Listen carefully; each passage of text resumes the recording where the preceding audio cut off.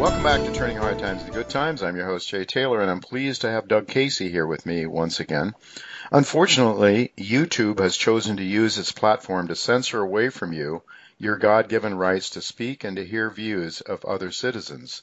YouTube never gives a reason for why content is taken down, but many of the views expressed by Doug Casey, as well as many other brilliant independent thinkers, are often censored when it doesn't fit YouTube's left wing political views.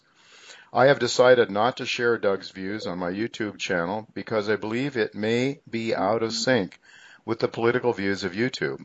However, you can listen to what Doug had to say by going to the podcast page at Jay Taylor Media.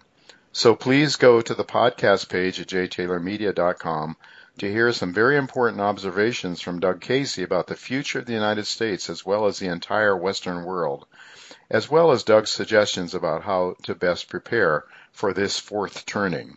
Thanks again for listening to my show and for subscribing to my channel at Jay Taylor Media.